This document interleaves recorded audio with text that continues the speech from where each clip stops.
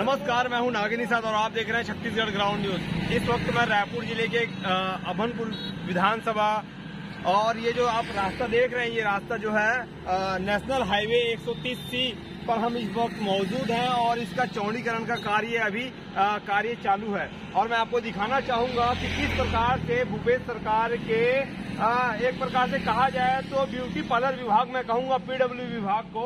और यहाँ पे किस प्रकार से वे काम कर रहे हैं, गुणवत्ताहीन काम यहाँ पे स्पष्ट रूप से देखा जा सकता है। यहाँ पे देख सकते हैं किस प्रकार से ये नाली का निर्माण कार्य यहाँ पे चल रहा है।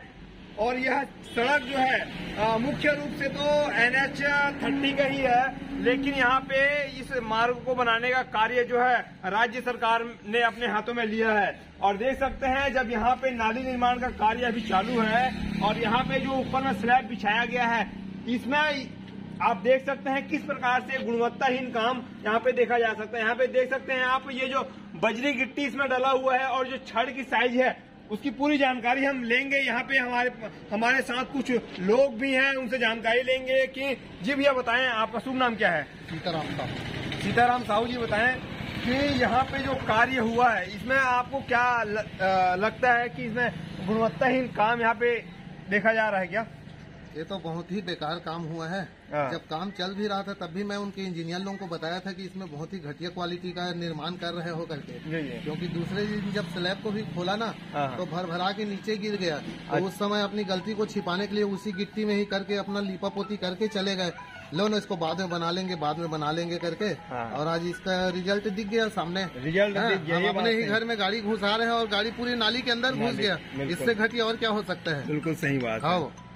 तो इसके ऊपर पूरा जाँच अच्छा, किया जाए। सीताराम जी ये बताएँ कि इसमें जो छड़ लगा है और जो गिट्टी है तो इसमें क्या कौन कौन सी मात्रा का जो लगना चाहिए तो आपको अच्छी तरीके जानकारी होगा। आप हार्डवेयर की दुकान चलाते हैं है ना? तो इसमें छड़ का साइज़ अभी कौन सा साइज़ में है ये बताइए दस एम का छड़ डाला हुआ है जी। है ना? अब इन लोगों का कहना यह है कि हमें कंपनी के द्वारा यही निर्देश मिला है कि हाँ। इतना ही छड़ लगाया जाएगा ऐसा करके। ये है आधुनिक हमारे छत्तीसगढ़ गढ़वो नवा छत्तीसगढ़ के इंजीनियरों का एक करतूत आप देख सकते हैं यहाँ पे कि किस प्रकार से अपनी इंजीनियरिंग, जबकि वो लाखों रुपए की पढ़ाई खर्च करके इंजीनियर बने हैं और सरकार के काम में किस प्रकार से जो है लिपा पोती कर रहे हैं, स्पष्ट रूप से यहाँ पे देखा जा सकता है। साथ ही मैं जानना चाहूँगा कि यहाँ पे गिट्टी और सीमेंट का क्या रोल है?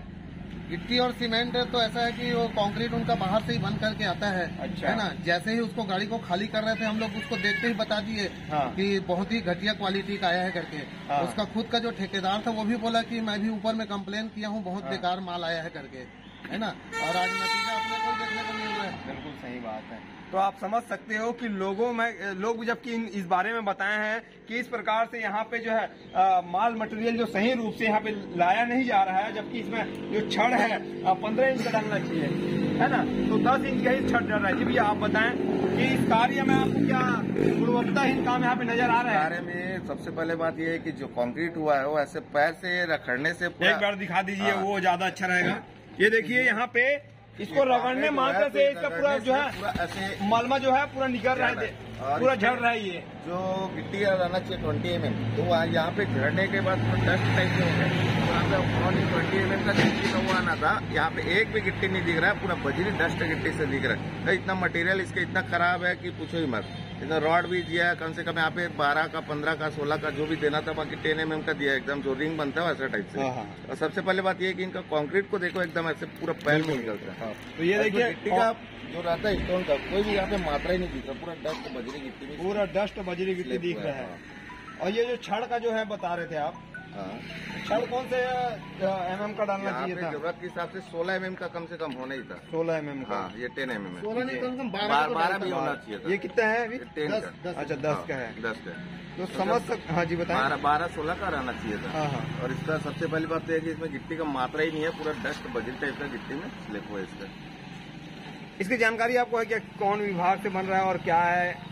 किसकी ज़िम्मेदारी है किसकी लापरवाही है बता सकते हैं तो ठेकेदार जो आदेश करेगा हाँ हाँ। जो गवर्नमेंट का रूल है उसको फॉलो कर रहा है नहीं कर रहा है हाँ, हाँ। क्या है उसका मात्रा जो उन्हीं लोग को पता होगा। सुभाष अग्रवाल। सुभाष अग्रवाल जी अगर वो ठेकेदार इस मार्ग के निर्माण निर्माण कार्य में अगर संलिप्त हैं अगर इस प्रकार से अगर निर्माण कार्य किया जा रहा है तो वाकई में एक प्रकार से अ, कहा जाए तो भ्रष्टाचार स्पष्ट रूप से देखा जा सकता है और समझ सकते हो कि आम जनता के टैक्स के पैसों से इस प्रकार से निर्माण कार्य जो हो रहा है विकास कार्य हो रहा है लेकिन आम जनता का टैक्स पैसा इस प्रकार से निर्माण कार्य जो कि भरभरा कर जो गिर रहा है पूरा इसमें डस्ट युक्त यहाँ पे सीमेंट का यूज़ यूज़ किया जा रहा है। तो आप सब अब छोटी गाड़ी है और यहाँ पे जबकि आना जाना लोगों का लगा हुआ है कई प्रकार की गाड़ियों का आना जाना है जबकि यहाँ पे कार्य जो है मजबूती के साथ होना चाहिए था लेकिन वो कार्य जो है मजबूती के साथ स्पष्ट रूप से दिखाई नहीं दिया जा रहा है। मैं जानना चाहूँगा सीताराम जी आपसे ये जो निर्माण कार्य है कब से चालू है और कब तक इसका कुछ क्राइटेरिया आपको मालूम है क्या? मेरे जानकारी के हिसाब से तो 21 जून से चालू हुआ है। हाँ। कब तक चलेगा मेरे को आइडिया नहीं है। अच्छा तो ये निर्माण कार्य ही फ़िलहाल हमको जानकारी मिली है कि करीबन ये जो निर्माण कार्य है तीन चार महीनों से ही बंद है ऐसा सुनाई मार है। अब मेरे यहाँ से तो जाने के बाद उधर काम चल रहा है कि नहीं मेरे कुछ उसकी जानकारी तो हाँ हाँ। हमने कुर्रा से लेके पूरे नया पारा और नदी तक के हमने देखा कि कहीं भी अभी तीन चार महीने से जो है काम जो है पूर्ण रूप से बंद है और बंद का क्या कारण है? क्या इनको दलाली नहीं मिल पा रही है इन ठेकेदारों और इन अधिकारियों और इन मंत्रियों को? जो मंत्री हैं, उनको दलाली कहीं ना कहीं नहीं मिल पा रही है। इसलिए यहाँ का काम जो है, रुका हुआ है। अब देखना ये होगा, खबर प्रकाशित होने के बाद जो है, ठेकेदार और साथ ही जो छत्तीसगढ़ शासन के जो पीडब्ल्यूडी के मंत्री हैं, क्या इस कार्य को कार्य को जल्दी से करवाने के लिए कोई कड़ी कदम उठाते हैं या नहीं?